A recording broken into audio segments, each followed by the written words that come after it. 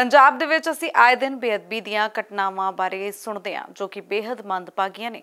ਹੁਣ ਤਾਜ਼ਾ ਮਾਮਲਾ ਤਰਨਤਾਰਨ ਦੇ ਇਤਿਹਾਸਕ ਗੁਰਦੁਆਰਾ ਗੁਰਦੁਆਰਾ ਬੀੜ ਬਾਬਾ ਬੁੱਢਾ ਸਾਹਿਬ ਵਿਖੇ ਦਾ ਸਾਹਮਣੇ ਹੈ ਜਿੱਥੇ ਬੇਅਦਬੀ ਦੀ ਘਟਨਾ ਵਾਪਰੀ ਹੈ। ਗੁਰਦੁਆਰਾ ਸਾਹਿਬ ਵਿਖੇ ਦਾਖਲ ਹੋ ਕੇ ਇੱਕ ਵਿਅਕਤੀ ਵੱਲੋਂ ਗੁਟਕਾ ਸਾਹਿਬ ਦੇ ਪੱਤਰਿਆਂ ਨੂੰ ਪਾੜਿਆ ਗਿਆ ਗੁਰਦੁਆਰਾ ਸਾਹਿਬ ਦੇ ਸੇਵਾਦਾਰਾਂ ਵੱਲੋਂ ਵਿਅਕਤੀ ਨੂੰ ਕਾਬੂ ਕਰਕੇ ਪੁਲਿਸ ਦੇ ਹਵਾਲੇ ਵੀ ਕਰ ਦਿੱਤਾ ਗਿਆ ਫੜੇ ਗਏ ਵਿਅਕਤੀ ਦੀ ਪਛਾਣ ਕਰਮਜੀਤ ਸਿੰਘ ਪੁੱਤਰ ਹਰਦਿਆਲ ਸਿੰਘ ਪਿੰਡ ਝਬਾਲ ਬਾਬਾ ਜੱਲਣ ਕਲੋਨੀ ਵਜੋਂ ਹੋਈ ਹੈ।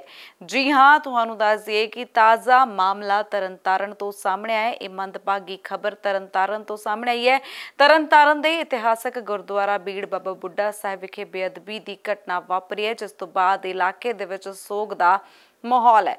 ਜਾਣਕਾਰੀ ਮੁਤਾਬਕ ਮੁਲਜ਼ਮ ਗੁਰਦੁਆਰਾ ਬੀੜ ਬਾਬਾ ਬੁੱਢਾ ਸਾਹਿਬ ਦੇ ਅੰਦਰ ਦਾਖਲ ਹੋਇਆ ਤੇ ਉਸਨੇ ਗੁਟਕਾ ਸਾਹਿਬ ਦੇ ਅੰਗ ਪਾੜਨੇ ਸ਼ੁਰੂ ਕਰ ਦਿੱਤੇ, ਜਿਸ ਤੋਂ ਬਾਅਦ ਗੁਰਦੁਆਰਾ ਸਾਹਿਬ ਦੇ ਸੇਵਾਦਾਰਾਂ ਨੇ ਮੁਲਜ਼ਮ ਨੂੰ ਕਾਬੂ ਕਰ ਲਿਆ ਤੇ ਪੁਲਿਸ ਦੇ ਹਵਾਲੇ ਵੀ ਕਰ ਦਿੱਤਾ। ਜੀ ਹਾਂ, ਜਾਣਕਾਰੀ ਅਨੁਸਾਰ ਅੱਜ ਸਵੇਰੇ ਇੱਕ ਲੱਤ ਤੋਂ ਅਪਾਹਜ ਇਹ ਨੌਜਵਾਨ ਸੀ ਜੋ ਗੁਰਦੁਆਰਾ ਸਾਹਿਬ ਬੀੜ ਬਾਬਾ ਬੁੱਢਾ ਸਾਹਿਬ ਦੇ ਅੰਦਰ ਦਾਖਲ ਹੋਇਆ। ਉਸਨੇ ਗੁਰਦੁਆਰਾ ਸਾਹਿਬ ਦੇ ਅੰਦਰ ਨਿਤਨੇਮ ਦੇ ਗੁਟਕਾ ਸਾਹਿਬ ਦੇ ਰਹਿਰਾਸ ਸਾਹਿਬ ਦੇ ਅੰਗ ਪਾੜ ਦਿੱਤੇ। ਸੰਗਤ ਨੇ ਮੌਕੇ ਤੇ ਨੌਜਵਾਨ ਨੂੰ ਕਾਬੂ ਕਰਕੇ ਉਸਦੀ ਛੱਤਰ ਪਰੇਡ ਵੀ ਕੀਤੀ ਤੇ ਪੁਲਿਸ ਦੇ ਹਵਾਲੇ ਵੀ ਕਰ ਦਿੱਤਾ ਗਿਆ। ਜੀ ਹਾਂ, ਇੱਕ ਵਾਰ ਫਿਰ ਦੱਸ ਦਿੰਦੇ ਫੜੇ ਗਏ ਵਿਅਕਤੀ ਦੀ ਪਛਾਣ ਕਰਮਜੀਤ ਸਿੰਘ, ਪੁੱਤਰ ਹਰਦਿਆਲ ਸਿੰਘ, ਪਿੰਡ ਚਵਾਲ ਬਾਬਾ ਜੱਲਣ ਕਲੋਨੀ ਵਜੋਂ ਹੋਈ ਹੈ। ਫਿਲਹਾਲ ਵਿਅਕਤੀ ਨੂੰ ਪੁਲਿਸ ਨੇ ਹਿਰਾਸਤ ਵਿੱਚ ਲੈ ਲਿਆ ਤੇ ਪੁੱਛਗਿੱਛ ਕੀਤੀ ਜਾ ਰਹੀ ਹੈ। ਨਾ, ਕਰਮਜੀਤ ਸਿੰਘ ਨਾਂ ਦਾ ਮੁੰਡਾ ਅਪਾਜ ਵਾ, ਲੱਤਾਂ ਤੋਂ। ਤੇ ਇਹ ਪਿੱਛੋਂ ਪਿੰਡ ਭੋਜੀਆਂ ਦਾ ਸੀ ਸਿੰਘ 30 35 ਸਾਲ ਦੀ ਉਮਰ ਵਾ। ਤੇ ਇਹ ਅੱਗੇ ਵੀ ਕਿਤੇ ਲੰਗਰ ਹਾਲ ਚ ਸੇਵਾ ਕਰਦਾ ਸੀ ਉਥੇ। ਜੋ ਘਰ ਪਰਿਵਾਰ ਨੇ ਦੱਸਿਆ। ਤੇ ਅੱਜ ਇਹ ਥੋੜੇ ਮੰਦਭਾਗੀ ਘਟਨਾ ਵਾਪਰੀ, ਇਹਨੇ ਉੜਕਾ ਸਾਹਿਬ ਉੱਥੇ ਜਿਹੜੇ ਆਪਣੇ ਪਾਠ ਕਰਨ ਦੀ ਸੰਗਤ ਲਈ ਰੱਖੇ ਹੁੰਦੇ ਆ, ਉਹ ਇਹਨੇ ਫੜ ਕੇ ਦੇ ਵਿੱਚੋਂ ਰਹਿ ਰਾਸਾ ਦੇ ਅੰਗ ਪਾੜਦੇ ਅਸੀਂ ਚਾਹੁੰਦੇ ਹਾਂ ਕਿ ਇਹਦੀ ਚੰਗੀ ਤਰ੍ਹਾਂ ਛਾਣਬੀਨ ਕੀਤੀ ਜਾਵੇ, ਜਿਸ ਤਰ੍ਹਾਂ ਪੁਲਿਸ ਮੁਲਾਜ਼ਮ ਕਰਦੇ ਹੁੰਦੇ ਆ, ਉਸ ਤਰ੍ਹਾਂ ਕਰਕੇ ਤੇ ਕੱਲੀ ਐਫ ਆਈ ਆਰ ਦੀ ਨਕਲ ਨਾ ਸਾਨੂੰ ਦੇਣ ਉਹਦੀ ਛਾਣਬੀਨ ਕਰਕੇ ਉਹਦੇ ਪਿੱਛੇ ਕੀ ਸੀ, ਉਹਨੂੰ ਕਿਸੇ ਨੇ ਸਿਖਾਇਆ ਵਾ, ਕਿੰਨੇ ਘਲਾਇਆ ਵਾ, ਕਿੰਨੇ ਇਸ ਦਿਨ ਤੇ ਏਡੀ ਵੱਡੀ ਘਟਨਾ ਨੂੰ ਅੰਜਾਮ ਦਿੱਤਾ ਵਾ। ਉਹ ਪਾਣੀ, ਦੁੱਧ ਦਾ ਦੁੱਧ ਤੇ ਪਾਣੀ ਦਾ ਪਾਣੀ ਹੋਣਾ ਚਾਹੀਦਾ ਵਾ, ਸਾਫ਼ ਗੱਲ ਹੋਣੀ ਚਾਹੀਦੀ ਆ। ਜੇਕਰ ਇਸ ਗੱਲ ਤੇ ਕੋਈ ਢਿੱਲ ਵਰਤਦਾ ਤੇ ਅਸੀਂ ਉਹਦੇ ਖਿਲਾਫ ਜਿਹੜਾ ਵਾ ਉਹ ਸੰਘਰਸ਼ ਕਰਾਂਗੇ। ਇਹ ਦੱਸਿਆ ਜਾਂਦਾ ਕਿਉਂਕਿ ਮੈਨੂੰ ਤਾਂ ਪਤਾ ਨਹੀਂ, ਕਹਿੰਦੇ ਵੀ ਇਹ ਪਹਿਲਾਂ ਵੀ ਆਉਂਦਾ ਸੀ ਤੇ ਲੰਗਰ ਦੇ ਵਿੱਚ ਸੇਵਾ ਕਰਦਾ ਸੀ, ਲੰਮੇ ਸਮੇਂ ਤੋਂ ਹੀ ਆਉਂਦਾ ਸੀ।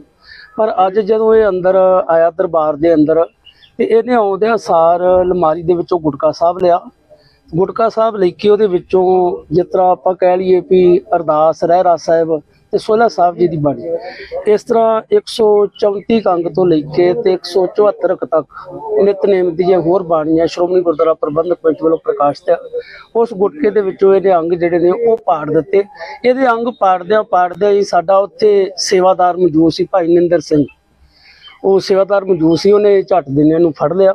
ਔਰ ਬਾਅਦ ਵਿੱਚ ਦਫ਼ਤਰ ਲਿਆਂਦਾ ਇਸ ਵਕਤ ਤੇ ਝਬਾਲ ਥਾਣੇ ਦੇ ਵਿੱਚ ਆ। ਪਹਿਲਾਂ ਤਫਤੀਸ਼ ਕਰਾਈ ਜਾਵੇਗੀ ਕਿ ਜੇ ਪਹਿਲਾਂ ਇੰਨੇ ਚਿਰ ਤੋਂ ਸੇਵਾ ਕਰਦਾ ਸੀ ਤੇ ਅੱਜ ਇਹਨੇ ਐਡਾ ਵੱਡਾ ਗੁਨਾਹ ਕੀਤਾ ਇਹਦੇ ਮਗਰ ਕਿਹਦਾ ਦਿਮਾਗ ਹੈ? ਜਾਂ ਕਿੰਨੇ ਇਹਨੂੰ ਆਖਿਆ? ਭਾਵੇਂ ਕਿ ਗੱਲ ਕੀਤੀ ਜਾਂਦੀ ਹੈ ਜੀ ਮੈਂਟਲੀ ਤੌਰ ਤੇ, ਪਰ ਹਰ ਬੰਦਾ ਜਿਹੜਾ ਮੈਂਟਲ ਆ, ਉਹਨੂੰ ਇਹੀ ਕਿਉਂ ਦਿਖਦਾ ਕਿ ਮੈਂ ਗੁਟਕਾ ਸਾਹਿਬ ਦਾ ਨਰਾਦਰ ਕਰਾਂ ਜਾਂ ਗੁਰੂ ਗ੍ਰੰਥ ਸਾਹਿਬ ਜੀ ਦੀ ਬਾਣੀ ਦਾ? ਇਹ ਇੱਕ ਬੜਾ ਹੀ ਸਵਾਲੀਆ ਚਿੰਨ੍ਹ ਹੈ ਇਸ ਵਾਸਤੇ ਇਸ ਵਕਤ ਸ਼੍ਰੋਮਣੀ ਗੁਰਦੁਆਰਾ ਪ੍ਰਬੰਧਕ ਕਮੇਟੀ ਦੇ ਉੱਚ ਅਧਿਕਾਰੀ ਵੀ ਪਹੁੰਚੇ ਨੇ ਸਾਡੇ ਸਤਿਕਾਰਯੋਗ ਗੁਰਦੁਆਰਾ ਸਾਹਿਬ ਜੀ ਦੇ ਮੈਨੇਜਰ ਸਰਦਾਰ ਸਤਨਾਮ ਸਿੰਘ, ਸਰਦਾਰ ਸਰਬਦਿਆਲ ਸਿੰਘ। ਇਹਨਾਂ ਤੋਂ ਇਲਾਵਾ ਸਾਡੇ ਕੋਲ ਸਤਕਾਰ ਕਮੇਟੀ ਦੇ ਜਿਹੜੇ ਨੇ ਵੀਰ, ਉਹ ਵੀ ਸਾਰੇ ਪਹੁੰਚੇ ਨੇ। ਸਾਡੀ ਇੱਕੋ ਇੱਕ ਹੀ ਹੈ ਕਿ ਪ੍ਰਸ਼ਾਸਨ ਦੇ ਕੋਲੋਂ ਕਿ ਸਭ ਤੋਂ ਪਹਿਲਾਂ ਤਬਦੀਸ਼ ਕੀਤੀ ਜਾਵੇ। ਇਹ ਦੇਖਿਆ ਜਾਵੇ ਕਿ ਜੇ ਅੱਗੇ ਸੇਵਾ ਕਰਨ ਤੇ ਅੱਜ ਇਹਨੇ ਕੰਮ ਕਿਉਂ ਕੀਤਾ ਕਿਸੇ ਦਾ ਸਿਖਾਇਆ ਪੜਾਇਆ ਤਾਂ ਨਹੀਂ ਆਉਂਦਾ, ਤਾਂ ਇਹ ਤੱਕ ਜਾਇਆ ਜਾਵੇ ਔਰ ਜੋ ਵੀ ਬਣਦੀ ਕਾਨੂੰਨੀ ਕਾਰਵਾਈ ਆ ਪ੍ਰਸ਼ਾਸਨ ਦੇ ਦੁਆਰਾ ਉਹ ਕੀਤੀ ਜਾਵੇ। Subscribe to One India channel and never miss an update.